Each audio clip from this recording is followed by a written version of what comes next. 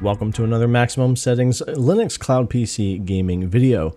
Today we're going to be taking a look at Linux gaming at 1440p in five different games to check out game and stream performance.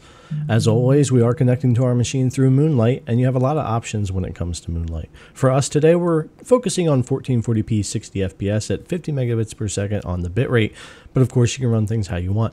We're using hardware decoding and .265 for our codec, and of course you can game at 720, 1080, 1440, or 4K at 30, 60, or 120 frames per second. You can adjust your bitrate as needed, and for me on this test setup, our server ping is about 32 to 38 milliseconds, and things feel great when it comes to input latency. So let's get moved over to our gaming PC and take a look at what we're going to look at today. So here on our desktop, the first thing I'm going to do is launch Lutris. We have three of our launchers we're going to be running from here, and that's Epic, Origin, and Ubisoft Connect. We're going to run a game from each of those to check out performance. But it's not just using those, we're also going to use the Linux version of Steam that comes pre-installed on your machine. And we'll open that up here and we're actually going to start with Steam first and run two games from there. And then we're going to switch over and run a game from each of the other launchers and check those out. So let's get started with Cyberpunk. So here we are on Cyberpunk, which is the Steam version running high settings, motion blur off, 1440p, and no FSR. There won't be any FSR in any of the games today. We're looking at native 1440p performance. We'll have some unlocked frame rates, but some games will be going for 60 FPS. Now here in Cyberpunk, we're actually getting pretty good solid performance. What I did like here, of course, we do have a nice clean stream, which you'll notice in all the games. Moonlight, with this Linux setup, does a nice job of providing a stream that is not full of pixelation and blockiness. But also the game runs pretty consistently at this frame rate, whether I was outside going down the highway or looking at interiors or exterior areas of the city walking around, the frame rate's pretty consistent between 30 and 40 FPS. Of course, if you want higher FPS, you can use FSR or lower resolutions, but this is just a baseline. Take a look at the combat we have here. Everything felt great when it came to latency, and the frame rate again stayed pretty solid without jumping around.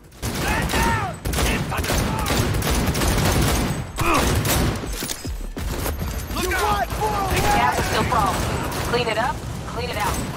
Don't want to be bringing the target out under fire. And definitely don't want a slug in your back. No way.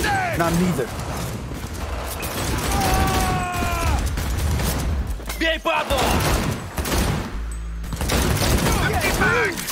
So Cyberpunk has some pretty consistent performance and you can definitely do some things to increase the frame rate or graphics and run the game however you want. But let's move over to our next Steam game, God of War. God of War is a great PC port that's been well optimized over time since its launch, and it does run pretty well on VMs, including this Linux gaming PC. Now we're going to start with an unlocked frame rate, so things will jump around a bit here and there, but we'll switch it over to 60 here in just a minute. Now performance here is on the Steam version, of course, ultra settings, motion blur off, 1440p and no FSR. So we're running max settings that we can here as far as our graphics, and it looks great. Now, things are going to bounce around and feel a little bit stuttery from time to time with the unlocked frame rate, as you can see in these battles, but you can lock this down to 60 FPS and really smooth things out, which I would recommend doing in most games when you're streaming at 60. But the game looks great, latency felt great, and the stream stayed clean for me here. Check out this fight at a locked 60 FPS.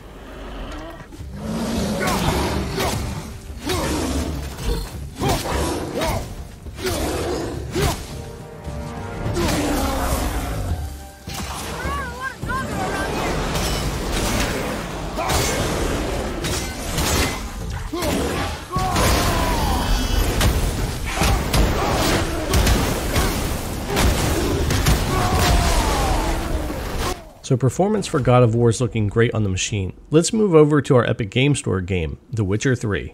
The Witcher 3 is a great title that's been used for a lot of years for benchmarking PCs and its graphics hold up today. We're running on the Epic Game Store version at ultra settings, motion blur off 1440p. Now this is an unlocked frame rate, but what we're going to do for this game is switch it over to a locked 60 FPS and you'll see our frame times smooth right out there and I am using VSync now as well.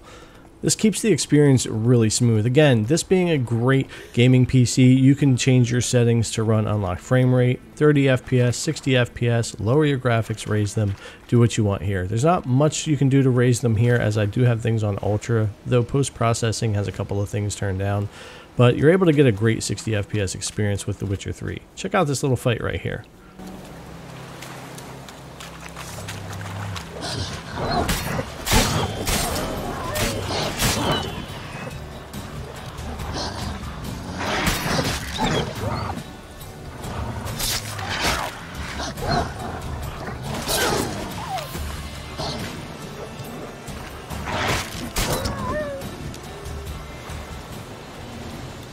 As you can see, the performance here for The Witcher 3 was nice and consistent at that 60 FPS, and with my ping of 32 to 38 milliseconds, the latency in battle was great, and we have a nice clean stream here for Witcher 3 as well.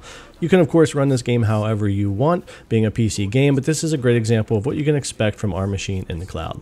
Now let's move over to our next game over on Origin, Jedi Fallen Order. So now we're taking a look at Star Wars Jedi Fallen Order running on the Origin launcher, high settings, motion blur off 1440p native resolution. Not only does this game run great here on the machine, but it happens to be one of my favorite more modern Star Wars games of recent times, so if you haven't played it, you should definitely check it out. Uh, just like all the other games we've checked out so far here in these five games, the stream stays really clean and I never had any pixelation issues and Moonlight's pretty good for that. We are still running our 50 megabits per second of course and depending on your internet connection and distance from the data center you may need to adjust these things uh, down or up. But for me here in this test setup the games were running great.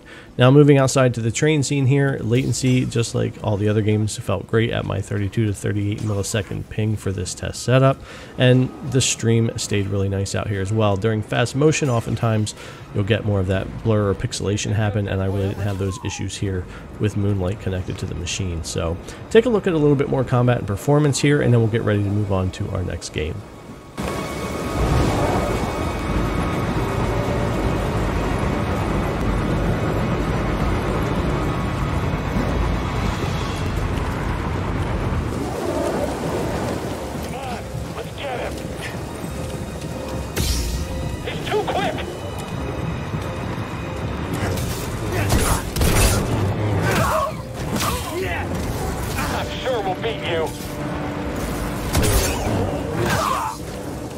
The Star Wars Fallen Order, another title that's running great here on the machine. Let's get ready to move over to our next game on the Ubisoft launcher, Immortals Phoenix Rising. Our fifth and final game for the video today is Immortals Phoenix Rising from Ubisoft, running on the Ubisoft launcher. This is high settings, motion blur off, 1440p native resolution, and this gives us a completely different art style to take a look at here, so we can see what the stream looks like and how the game's running. Again, we are shooting for a locked 60 FPS in this game, however, you could do whatever you would like and run this unlocked. You could stream it at 120 or 60, you could up your graphics from high to a little bit more there, you could lower them to raise your frame rate, a lot of things you could do. But this offers us some overhead, allows the machine to breathe a little bit, gives us a fairly smooth 60 FPS experience with a 60 FPS stream, and it feels great to be playing here locally. Anyway, I'll let you check out a little bit more combat here for Immortals Phoenix Rising.